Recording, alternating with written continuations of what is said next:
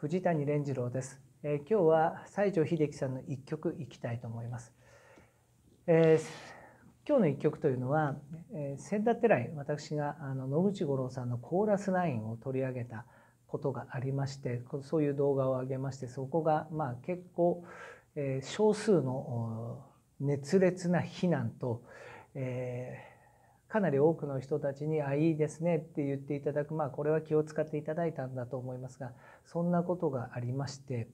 え、その時代というのを私は実は重要に捉えてるという話をしたかったんですが、まあ、分からない方は一切そこには興味を持たないみたいなので、え、もう一つ別の角度からやはり秀樹五郎弘美といったら「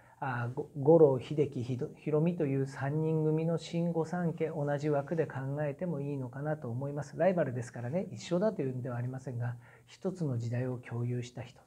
というわけで今回秀樹さんでちょっと捉えてみたいと思います、えー、1980年6月の曲です「俺たちの時代」「俺たちの時代」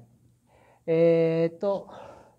制作スタッフは、まあ、原作詞という方がいるだけであとは高隆さんとか水谷さんとか佐藤さんですから、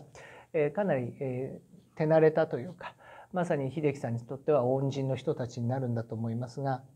えー、スケールはあ、まあ、一つの時代、えー、青空に向かって自分たちはどんどんと新しい時代を切り開いて羽ばたいていくんだという明るい曲です。えー、あれはシンセサイザーなのかな？パパンパンパパパとえらいあの励ますような音が鳴りまして非常に気持ちいい曲なんですがポイントとして私が言いたいのは1980年の6月であるということ、えー、確かコーラスライン五郎さんのコーラスラインこの前後です、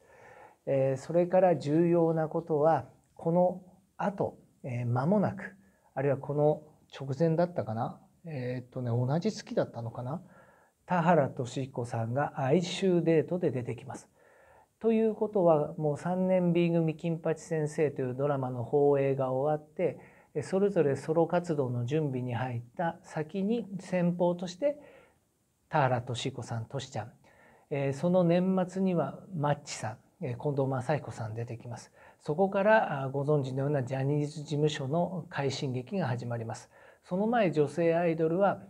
山口百恵さんがこの前後に引退しキャンディーズピンク・レディー解散するということになりまして一つの時代が変わったぞっていうところにこの曲があってご覧いただいてお分かりのように秀樹さんのこの曲も彼のお得意とする情熱的ラブソングであの女の子に向かって女性に向かっていくというタイプの曲ではないですよね。一つの若きオピニオンリーダーとしてのスタイルになりますよね。前に「愛の園」というのも前か後かえありましたけども前に出した動画でありましたけど、え五郎さんも同じでコーラスラインというのはみんなのお客さんに呼びかけて歌うという形ですよね。えこの時代彼らがアイドルとして20代半ばに差し掛かって、え一つの若手としての、まあ、女の子のアイドルスーパーアイドルというところから次のステップに行こうとして考えてたんじゃないか。で特に秀樹さんに関して言えばご存知のようにこの前の年にヤングマンで天下を取ってるわけです。日本中を染めるような大ヒットを彼はやってるわけですね。でそういうところからこの世代の人たちが次にどういう活動をしようというふうに、まあ、ある種迷いながらある種勢いづきながら次の展開をしようとしてたのがあの彼ら2 5 6歳前後の25歳くらいの頃のこれらの1980年の歌の並びじゃないかと私は考えます。そこで五郎さん五郎さんの迷いもあるし、えー、ご記憶の方いらっしゃると思いますが秀樹さんはその先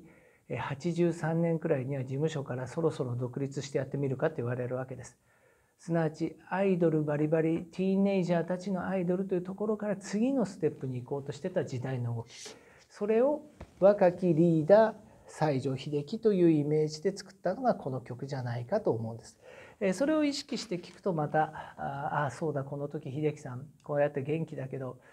あの本当に勢いに乗ってたという面もあるし一方で次どうしよう次のステップどうしようって秀樹スタッフは考えてたんじゃないかななんて思っています。えー、この先まだ秀樹さんの曲をどんどん取り上げていきますのでよろしくお願いします。えー、俺たちの時代爽やかでとってもいい曲だと思います。それでは失礼します。